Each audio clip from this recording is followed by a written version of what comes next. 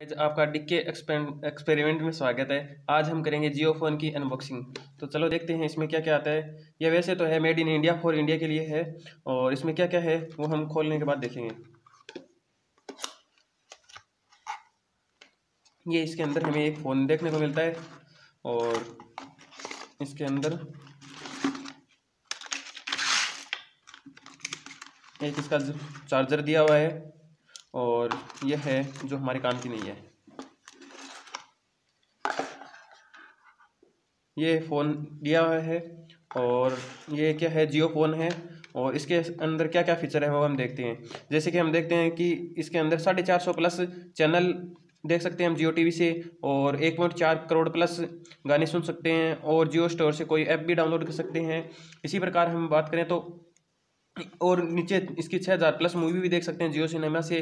Game भी games भी खेल सकते हैं। और जियो पे से हम नया केस जो इंडिया के लिए उपलब्ध कराया गया है, उसके, सुविधा भी इसके अंदर उपलब्ध है। और इसके अंदर पंद्रह सौ मेगा हर्ट्ज की बैटरी भी है, पाँच सौ बारह एम बी की रैम है, और एस टी कार्ड एक सौ अट्ठाईस जी बी का सपोर्ट करता है।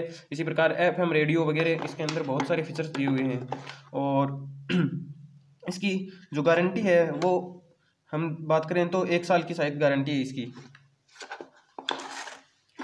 और ये इसके अंदर चार्ज दिया हुआ है, जो कि लाइफ कंपनी का ही है। और ये कितने वाट हो गया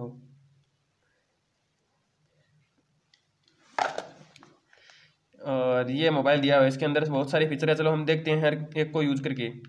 जैसे कि ये ऊपर का बटन दबाने पर ये ऐसे दिखाई देता है, ये यहाँ पर टॉर्च टॉर्च का बटन है, यहाँ पे ब्राइटनेस कम ज़्यादा कर सकते हैं, ये फ़्लाइट मोड पर है और यहाँ पे ब्लूटूथ ऑन ऑफ़ कर सकते हैं और ये एक फीचर नया फीचर दिया है जो कि सॉफ्टवेयर को अपडेट करने के लिए दिया गया है और ऊपर कैलकुलेटर दिया गया है। इसी के अंदर हम देखें तो बहुत सारे ऐप्स दिए गए हैं, जैसे कि ये फ़ोन वगैरह ऐप भी फेसबुक और व्हाट्सअप सब ऐप बहुत सारे दिए गए हैं। तो इस प्रकार ये फ़ोन हमें इंडिया के अंदर लगभग इसकी प्राइजेज प्राइस की बात करें तो लगभग पंद्रह सौ रुपये इंडिया के अंदर मिल जाएगा ये।